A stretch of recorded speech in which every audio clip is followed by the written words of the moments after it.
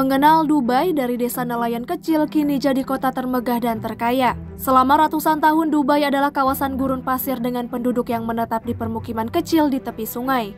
Selain itu, mata pencaharian warga Dubai sangat bergantung pada penangkapan ikan, penyelaman mutiara, pembuatan perahu, dan penyedia akomodasi untuk para pedagang yang melintasi kawasan itu.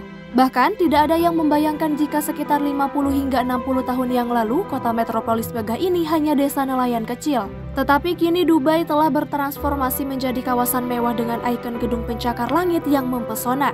Beragam bangunan yang mereka ciptakan membuat takjub mata dunia hingga meraih beragam rekor-rekor dunia. Paling terkenal di kota Dubai adalah Burj Khalifa, bangunan pencakar langit dengan tinggi 828 meter yang dinobatkan sebagai gedung tertinggi di dunia.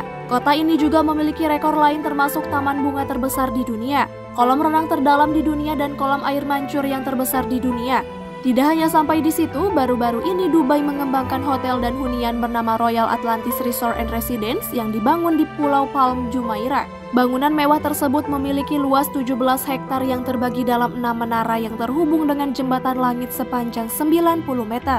Komplek ini menawarkan 795 kamar tamu serta 231 tempat tinggal.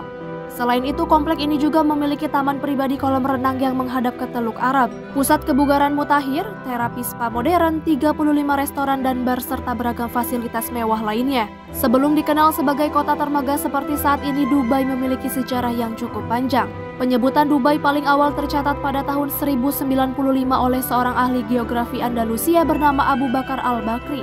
Catatan lain mengenai Dubai juga terdapat dalam jurnal pedagang mutiara Venesia Gaspero Balbi. Dia mengunjungi area ini pada 1580 dan menyebut Dubai atau Dibay.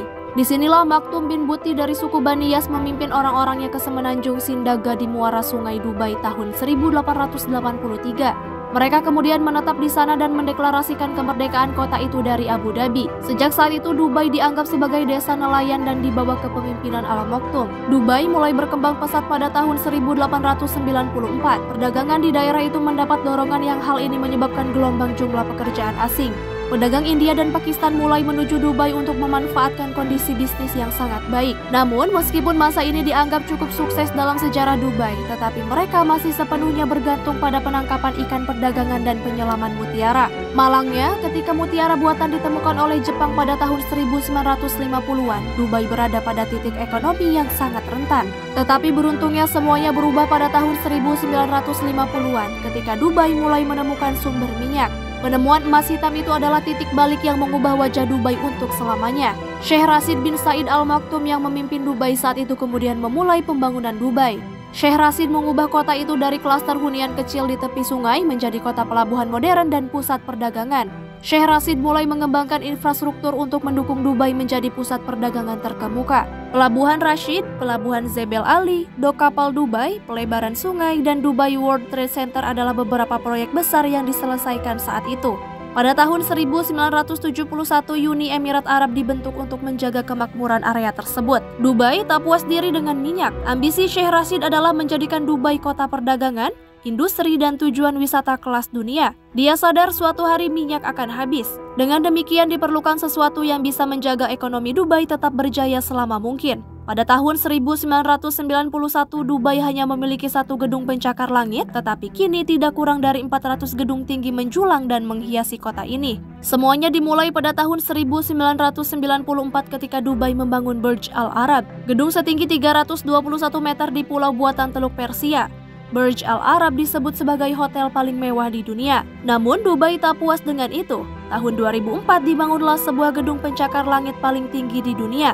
Hanya butuh lima tahun untuk merampungkannya, inilah Burj Khalifa gedung setinggi 828 meter. Selain pembangunan yang menakjubkan, Dubai memiliki banyak etnis sehingga membuat kota ini semakin menarik dikunjungi. Menurut sensus tahun 2018 lalu penduduk Dubai berjumlah sekitar 3,1 juta orang di mana penduduk asli yang biasa disebut sebagai Emirati berjumlah sekitar 20 persen. Semua itu membentuk Dubai menjadi kota yang multikultural dan penuh toleransi. Banyak orang yang tertarik untuk datang dan berinvestasi karena situasi keamanan yang kondusif.